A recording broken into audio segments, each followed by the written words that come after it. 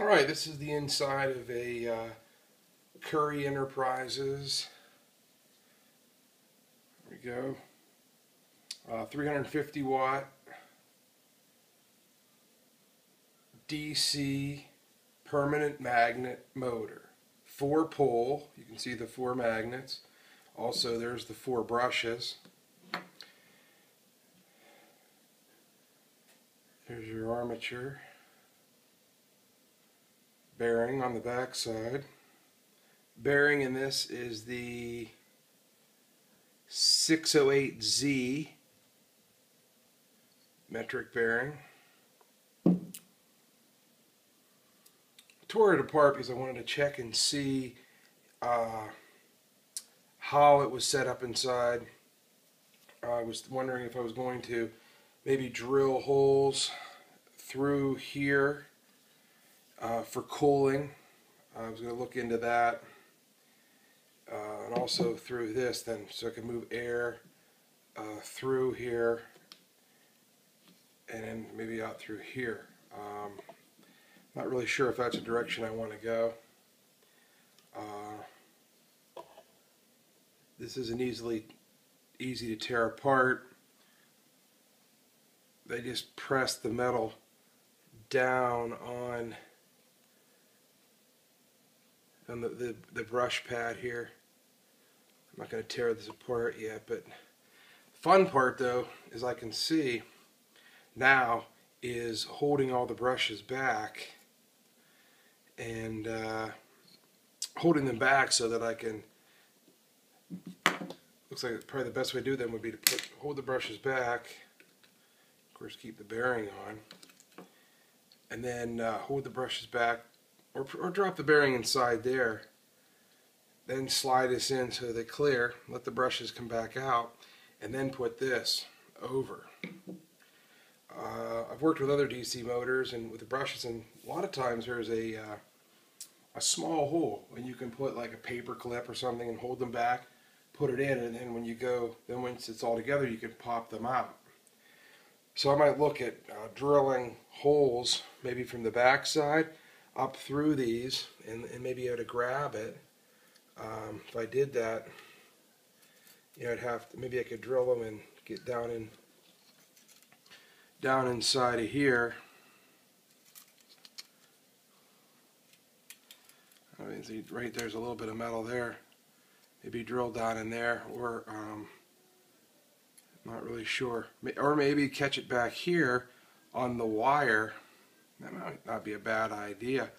Drill down in here, then catch on the this copper braid that might be a that might not be a bad idea on the copper braid. Um, that's what I'm looking at. Another thing I noticed too, um, I put, tore this apart, is the motor's not square in the sense of when you put the plate on, they have notches in the cover here and here.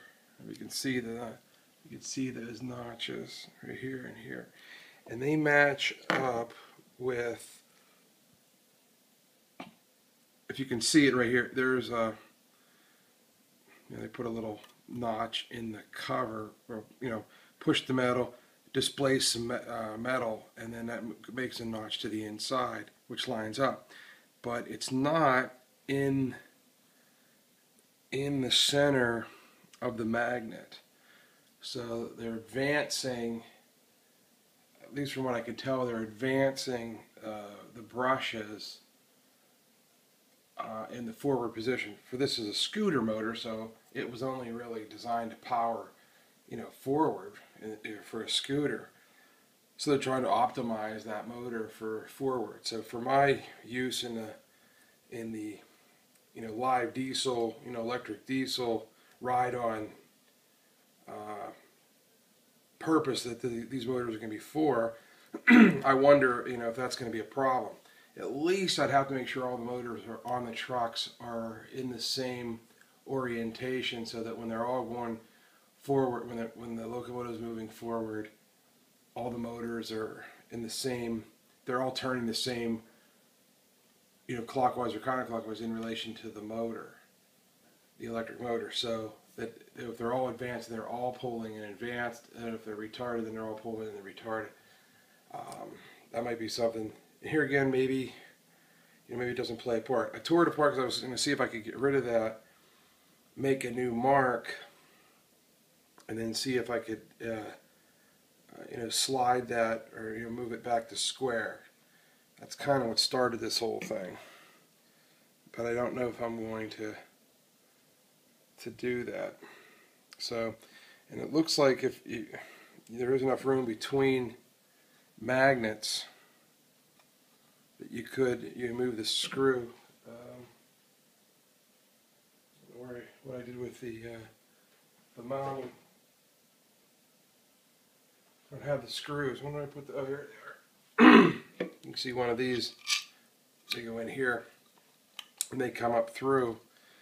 Um, they're probably not going to be in the center though. It's probably it rolls off to the one side to do the advance, but how much I'm not sure. So I have to look at that and see if that's going to be play a part. So that's the motor. Um, I guess these are ba factory balanced.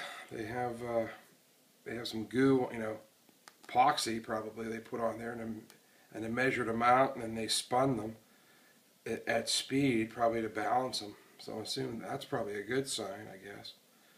Um, so that's it. That's the Currie Currie Techno Currie, Currie Technologies model XYD-6D 24 volt DC 22 amp 350 watt scooter motor.